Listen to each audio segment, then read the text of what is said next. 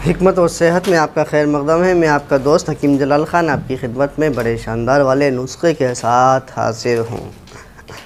जो मैं नुस्खा लेकर आया हूँ, वो एक तरह से आपको एक नाश्ता है, नाश्ता करना है और बड़ा लजीज, बड़ा स्वादिष्ट नाश्ता है। उस नाश्ते को आप करेंगे तो नाश्ता तो आप करेंगे, मगर नाश्ते के साथ साथ आपकी ताकत हो जाएगी दो बाला आपकी मर्दाना ताकत में लग जाएँगे चार चाँद।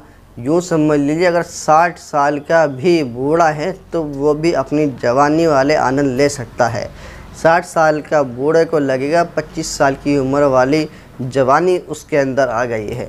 जी हाँ बड़ा अच्छा और बड़ा शानदार ये नुस्खा है। ये आपको कुछ दवाएँ लेकर आनी हैं। इन दवाओं को आप जिस तरह से मैं बताऊँगा, उस तरीके से इस्तेमाल कर लेंगे। तो आप देखेंगे कि आपके अंदर ताकत कूट कूट के भर गई है।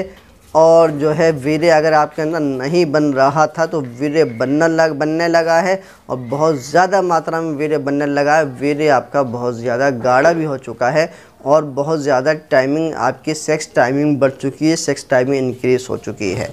अब मैं आपको बता दूँ किस तरह से आपको इस दवा का इस्तेमाल करना है, क्या करना है। आपने पहले कुछ चीज़ें लेकर आनी है पंसारी क्या से, वो हैं, आप उनको नोट कर लें। आपने लानी है सफ़ेद मूसली इंडियन वाली। ठीक है ना? बहुत अच्छी क्वालिटी के लिए आए सफ़ेद मूसली इंडियन ये आप ले लें पचास ग्राम। और साथ ही साथ आप ले लें सालब मिश्री। ये भी आपको लेना है पचास ग्राम।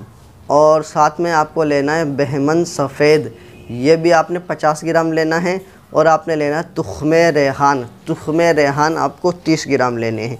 अब तुखम रेहान को छोड़ के जो आपने सफ़ेद मूसली लिए साला मिश्री ली है बहमन सफ़ेद ली है, इन तीनों चीज़ों को आप कूट पीस के बारीक पाउडर इनका तैयार कर लें। और जब पाउडर तैयार हो जाए तो तुखम रेहान ऐसे ही उसमें पाउडर में मिला दें। अब ये आपकी दवा तैयार हो गई।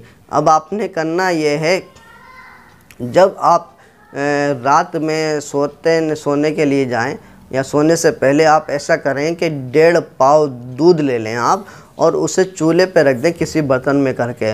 और इसमें से एक चम्मच दवा, यानी कि छः ग्राम दवा उस दूध में डाल दें, खूब पका लें और जितना आपको मीठा पसंद हो उतना मीठा कर सकते हैं आप इसे चीनी के साथ। अब ये आप दवा पकने दें, इसको खीर को दूध में पकने दें इस दवा को। ये खीर नुमा तैयार हो जाएगी। खीर की तरह ही आपका एक मिक्सचर तैयार हो जाएगा। जब खीर की तरह खूब अच्छे से पक के तैयार हो जाए तो उस चूल्हे को बंद करके आप इसे हिफाजत से रख दें दवा को। अब ये आपकी एक खीर तैयार हो गई। अब सुबह आपको उठ के नाश्ते में खाली पेट इस खीर को खा लेना है। खाली पेट इसको खा लेना है। ऊपर से इसमें से आप एक गिलास गाय का गुनगुना दूध पी लें।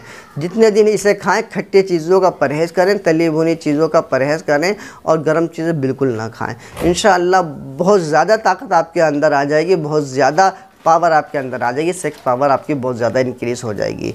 भाइयों, उम्मीद करता हूँ वीडियो आपको पसंद आई होगी। वीडियो पसंद आई होगी तो लाइक करें, मुझे इजाज़त दें, अपना ख्याल रखें।